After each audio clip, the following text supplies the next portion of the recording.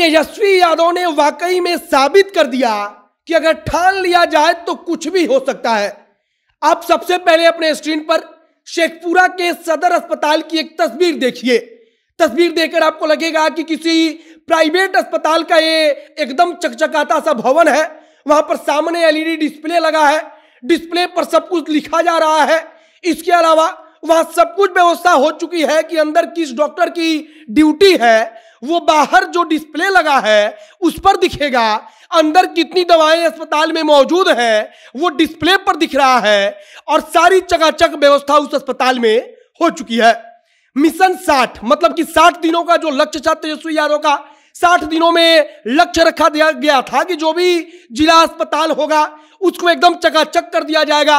और शेखपुरा के जिला मुख्यालय का जो सदर अस्पताल है उसकी तस्वीर को आप देखिए, जो इस बात को दर्शाता है कि वाकई में तेजस्वी यादव ने साठ दिनों में सरकारी अस्पताल का कायाकल्प कर दिया और साठ दिनों के बाद वही अस्पताल प्राइवेट अस्पताल से भी बेहतर दिखने लगा।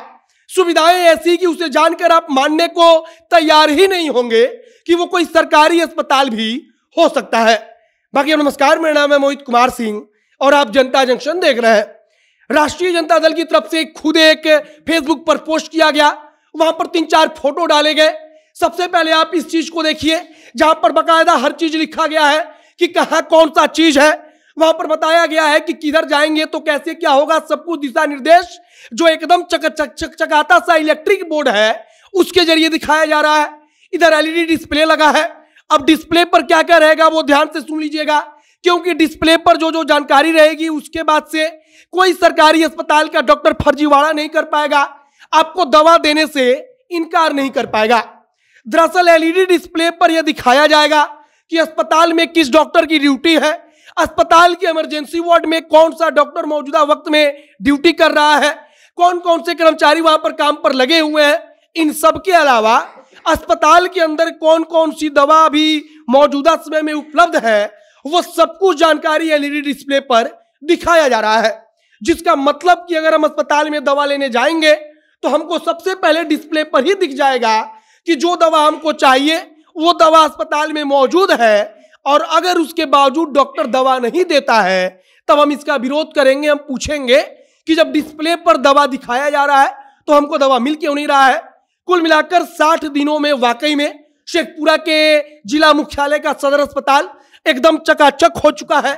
वहाँ पर सब कुछ एकदम इलेक्ट्रिक बोर्ड लगाया, जहाँ पर लिखा है कि आपातकालीन सेवा, नीचे वहाँ पर एंबुलेंस सेवा से लेकर स्टाफ चेंजिंग रूम सब कुछ बताया गया है कि कौन सा रूम क्या है। वहाँ पर एक, दो, तीन, चार करके सारी जानकारी दी गई है, जो कि किसी सरकारी अस्पताल में आपने शायद ही कहीं देखा होगा।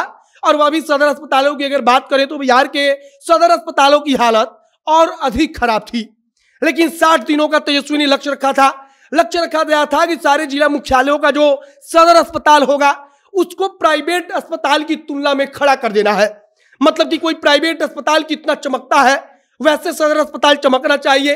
प्राइवेट अस्पताल में किस प्रकार की सुविधा होती है? मतलब कि एलईडी बोर्ड लगा होता है, सारी जानकारी होती है, सब व्यवस्था चकाचक होती है। उसी प्रकार से सदर अस्पताल में व्यवस्था होनी चाहिए और साठ दिन के बाद वो व्यवस्था हो भी गई है। राष्ट्रीय जनता दल की तरफ़ से पोस्ट करते हुए लिखा भी गया है कि उप मुख्यमंत्री श्री तेजस्वी यादव जी ने मिशन साठ के तहत दिया टास्क तो प्राइवेट से बेहतर दिखने लगा बिहार का सरकारी अस्पताल। इसके नीचे तीन चार फ़ोटो है और वहाँ पर दिखाया गया है कि कैसे शेखपुरा का सदर अस्पताल अब एकदम बदल चुका है। उसके सामने प्राइवेट अस्पताल भी अब नहीं टिक सकते। बाकी साठ दिन के बाद वाकई में शेखपुरा का सदर अस्पताल जिस तरीके से दिख रहा है जैसा वहाँ पर काम हुआ है, अगर बाकी के सदर अस्पतालों में काम हो जाए, सब कुछ ईमानदारी पूर्वक कर लिया जाए, तब सदर अस्पतालों के कायाकल्प होने से कोई रोक नहीं सकता। बाकी आगे देखना होगा कि पूरे बिहार में यह सब कुछ तमाम सदर अस्पतालों में कब तक हो पाता है। आगे जो कुछ नई जानकारी, जो कुछ नया अपडेट आएगा, सब कुछ हम आप तक पहुंचाएँगे। आप वीडियो को शेयर कीजिएगा ज़्यादा ज़्यादा लोगों तक तो पहुंचाइएगा। बाकी जनता एक्शन के साथ जुड़े रहिए। कैमरे पीछे विशाल खड़े हैं और मैं मोहित कुमार सिंह। बहुत बहुत धन्यवाद।